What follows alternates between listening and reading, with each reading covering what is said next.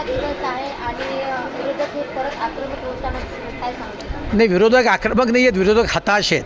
त्यामुळे नसलेल्या विषयावर बाष्कळ बडबड करण्याचा आणि मुद्दे उपस्थित करण्याचा ते प्रयत्न करत आहेत त्यामुळे हताश निराश आणि भीतीने गारठलेले असे हे सगळे विरोधक आहेत.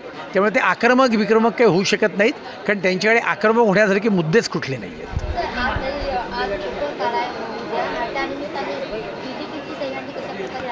भारतीय जनता पार्टी दहीहंडीचा उत्सव मुंबईभर मोठ्या प्रमाणावर तर साजरा करणारच आहे. पण यावेळची आमची दहीहंडी जी आहे ती मुंबईकर जनतेच्या सुशासनाची खड्डेमुक्त रस्त्याची बारा तास उच्च दाबाने पाणी पुरवठ्याची कचरामुक्त मुंबईची मेट्रोयुक्त मुंबईची अशी आमची दहीहंडी आहे. आणि ही दहीहंडी सव्वा कोटी मुंबईकर जनतेच्या मदतीने आम्ही लावलेली आहे आणि ही दहीहंडी आम्हीच फोडणार येत्या महानगरपालिकेच्या निवडणुकीत आणि आम्हीच ही हंडी जिंकणार आहोत हे शिवसेनेने लक्षात ठेवावं.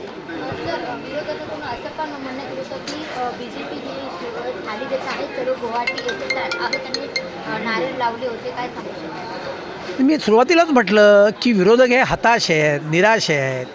मुख्यमंत्र्यांच्या पक्षाचे चाळीस आमदार हे मुख्यमंत्र्यांशी सहमत राहत नाहीत. कारण त्यांनी सत्तेकरता स्वतःला मुख्यमंत्री बनवण्याकरता स्वतःच्या मुलाला कॅबिनेट मिनिस्टर बनण्याकरता जे हिंदुत्वाशी हिंदुहृदय सम्राट बाळासाहेब ठाकरेंशी प्रतारणा केली होती ती चाळीस आमदारांना मान्य झाली नाही. आणि त्याच्यामुळे त्यांनी खऱ्या शिवसेनेचं पुनर्जीवन केलं. त्याच्यामुळे हे हताश झालेले आहेत.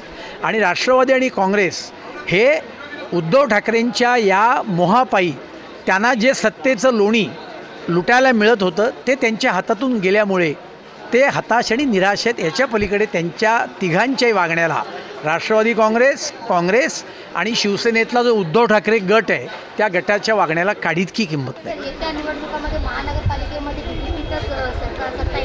एकशे दहा टक्के मुंबई महानगरपालिकेमध्ये भारतीय जनता पार्टीची यावेळेला सत्ता येणार आणि मुंबईकर जनतेचं जीवन हे सुसह्य पाणीयुक्त खड्डेमुक्त रस्तेयुक्त मेट्रोयुक्त कचरामुक्त मुंबईयुक्त होणार आहे